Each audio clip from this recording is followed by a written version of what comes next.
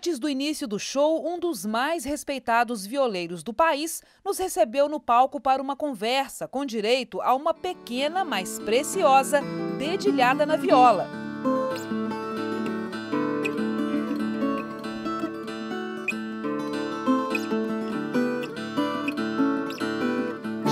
Celebra 30 anos de carreira com o lançamento do livro Conversa de Violeiro e do CD Cantigas de Violeiro.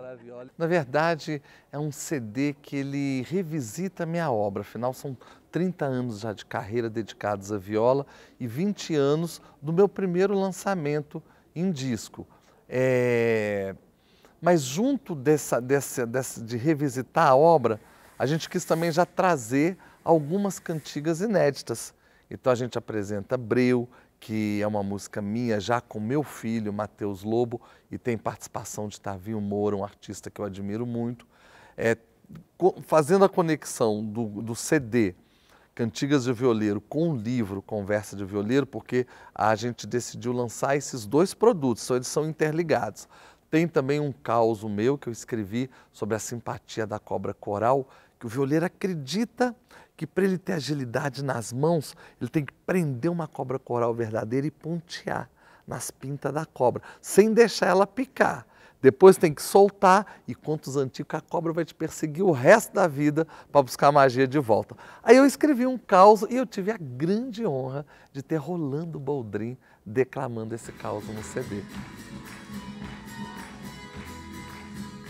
Teatro cheio, público variado. Chico Lobo encanta com um repertório que mistura músicas novas e outras que marcaram a carreira dele.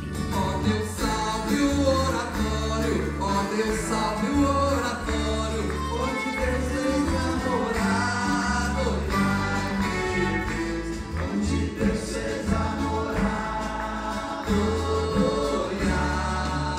show de lançamento do livro e do CD é uma realização do CREA Minas e do CREA Cultural. E não é a primeira vez que eles apoiam o trabalho do artista mineiro. O Chico Lobo é um dos nossos, vamos dizer assim, artistas com os quais nós temos um projeto de muito sucesso que se chama Interiorização Cultural. Interiorização Cultural, como o nome está dizendo, é um, é um projeto em que nós levamos cultura às cidades do interior, onde o CREA possui inspetoria ou escritório de representação, que é uma inspetoria em tamanho menor. Então o Chico é um deles. Ele cuida da área em que ele é um expert, um exímio músico, que é a, a, a viola. Né? A viola ele é o, um grande músico, um grande compositor, e ele então, nós exploramos, no caso dele, a cultura de raiz, a cultura popular. E tem sido um sucesso muito grande onde o Chico Lobo vai.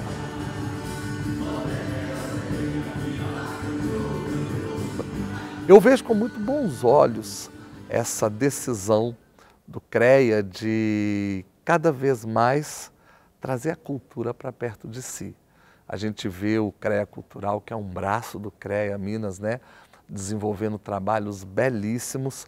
Eu mesmo integro o Interiorização Cultural, que é um projeto que leva a viola e um quarteto de cordas libertas erudito, a contação de histórias com a Dora Guimarães sobre Guimarães Rosa, leva isso tudo para o interior. É fantástico isso. Música de raiz valorizada com a presença do grupo de dança Sarandeiros, que trouxe para o palco a tradição do folclore.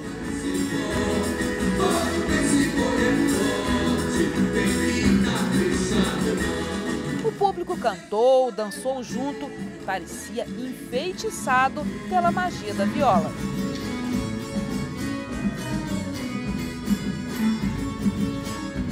Ótimo! Primeira vez que eu vim, mas gostei muito.